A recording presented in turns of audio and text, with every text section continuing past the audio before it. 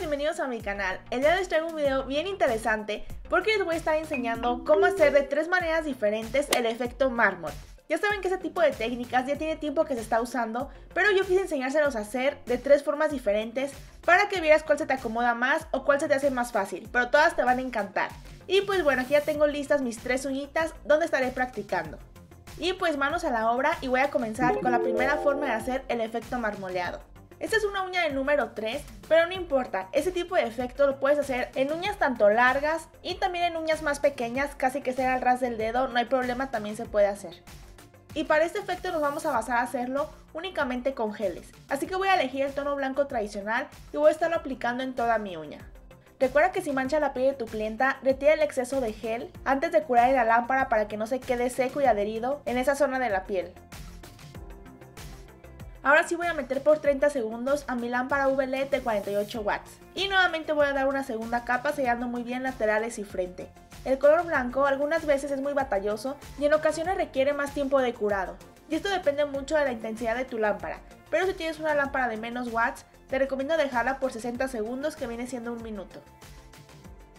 Ya que haya salido, aquí viene lo interesante para hacer el marmoleado. Fíjate muy bien, voy a estar colocando mi brillo final, te recomiendo que sea el que ya sale completamente seco y que no tiene capa de inhibición. No vas a meterlo para nada a la lámpara, si lo vas a dejar fresquecito. Y voy a estar utilizando mi gel en tono negro. En un recipiente voy a aplicar unas gotitas para que sea más fácil estarlo tomando. Y también voy a estar utilizando un liner muy finito.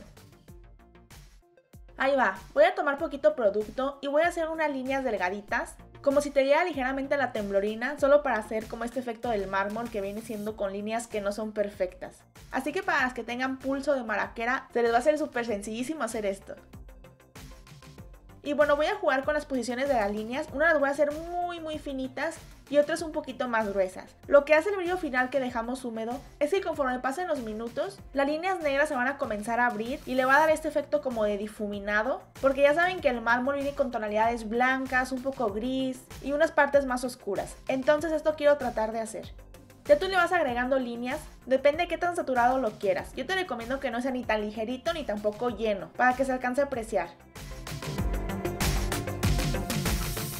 Bueno, aquí siento que falta que se difuminen todavía más, así que voy a poner una gotita de mi brillo final de esta forma y ligeramente lo voy a pasar sobre las líneas que ya teníamos hechas en tono negro. Fíjate, al hacer esto como que se alcanza a difuminar un poquito más. Y así lo voy a hacer únicamente en algunas. Ahora sí voy a meter a mi lámpara por 30 segundos y ya que ya salido te recomiendo, ya nada más para darle el toque final, tomar poquito producto negro y hacer unas líneas pequeñitas para que se le vea un poquito más el contraste de color. Son únicamente muy ligeritas para darle ese toque.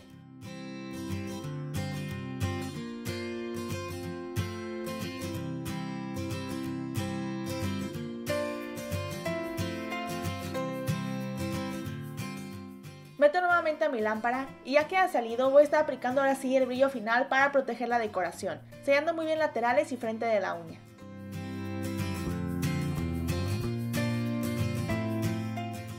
Y listo, esta es la primera forma en la que yo realizo el efecto marmoleado. ¿Qué te pareció?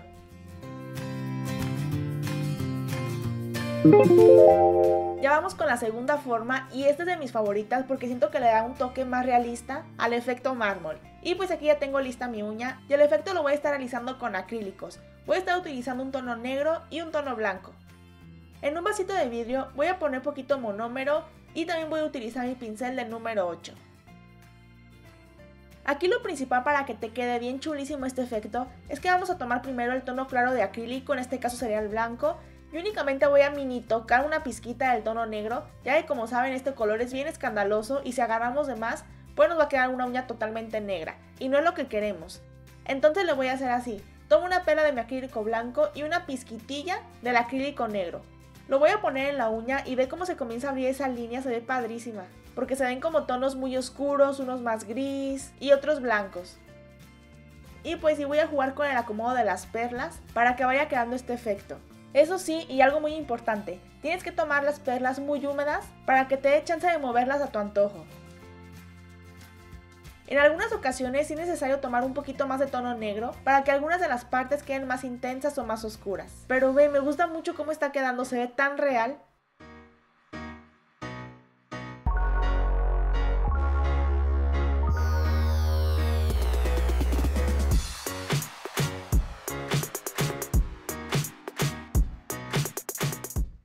Ve aquí por ejemplo, si te llegan a quedar partes muy oscuras o con mucho acrílico negro y dices no me gusta, se ve muy sucio, podemos utilizar una perla de tono blanco y ponerla encima como para parchar y que quede difuminado y mira, asunto arreglado, ni rastro de que te pasaste de color negro.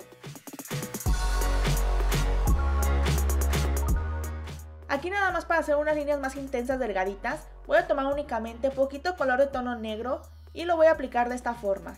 Ya con el pincel limpio y monómero voy a delinear para que queden más delgaditas.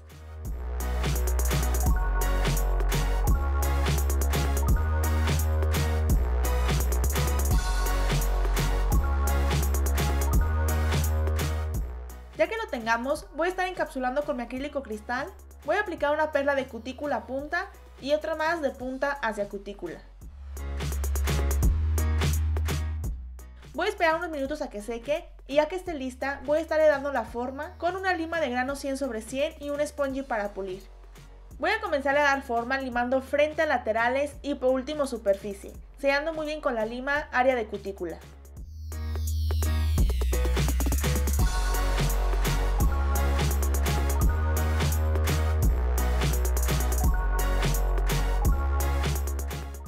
A sacudir el exceso de polvo y a limpiar con una gasita y mi limpiador.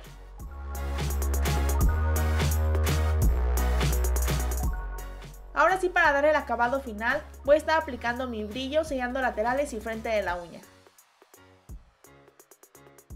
Meto mi lámpara por 30 segundos y ya que ha salido, ahí es como queda la segunda forma de hacer el efecto mármol. En lo personal, mi forma favorita y que se ve más realista. ¿A ti qué te pareció esta segunda idea? Ahora sí ya va la tercera y una que también me emociona mucho porque yo estuve viendo muchos videos de Instagram que lo hacían con Sharpie, pero le hacían como un trazo curvo y unas rayas por acá y un pincel y no sé qué tantas cosas. Y dije, a ver, a ver, quiero intentarlo para ver si es cierto o son únicamente esos videos que te emocionan, lo haces y nada que ver ni te queda y terminas decepcionada. Para esto voy a estar encapsulando mi uña directamente con mi acrílico blanco, tomando una perla grandota porque estaría haciendo mi encapsulado a una sola perla. Es mucho más rápido y siento que con la práctica llega a ser hasta más fácil. Y ya simplemente después de haber colocado la perla, con el cuerpo del pincel voy a ir bajando el acrílico hasta punta.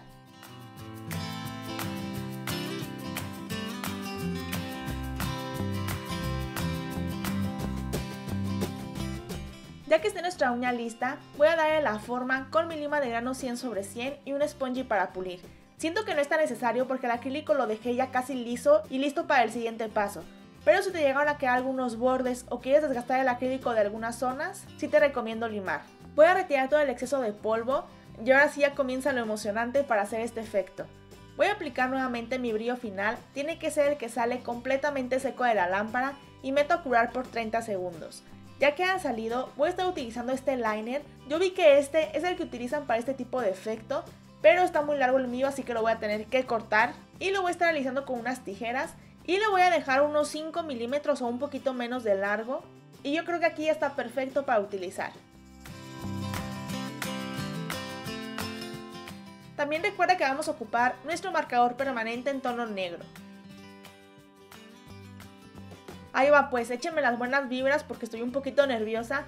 Y básicamente les digo, son líneas curvas como si hiciéramos una viborita dos de un lado y dos del otro. Después vamos a cruzar unas pequeñas líneas diagonales de esta forma. En un vasito de vidrio voy a estar depositando acetona pura que según eso será lo que haga como el efecto de mármol o que difumine las líneas. Voy a meter mi pincel, voy a tomar mucha cantidad para que se alcance a difuminar y lo voy a comenzar a aplicar a toquecitos en toda la uña. No inventen, vean cómo está quedando, me está gustando mucho. Nada más el único inconveniente que pasó aquí es que era tono negro, pero al difuminarlo con la acetona se ve como azul marino, eso no me gustó tanto. Pero pues bueno, de que va quedando, va quedando. El efecto que hace la acetona es que a la hora de aplicarlo en las zonas, como que diluye y comienza a abrir el color. Ahora sí voy a estar aplicando mi brillo final, sellando laterales y frente de la uña. Me gusta mucho, ya me lo imagino con diferentes tonos de marcador, se ha de ver genial. Y pues listo, así queda la tercera idea de cómo hacer el efecto mármol. Fue muy sencillo y esta técnica te la recomiendo si tú eres principiante porque es muy fácil y no vas a batallar nada. Y pues listo mis hermosuras, aquí termina el video del día de hoy. Déjame en los comentarios qué técnica fue la que te gustó más o se te hizo más fácil. Ya saben que la mía fue la segunda, que trabajábamos el marmoleado con acrílicos. Si te gustó mucho este video no olvides regalarme un like, compartirlo y por supuesto suscribirte. Recuerden que os quiero muchísimo y nos vemos en un próximo video. Bye.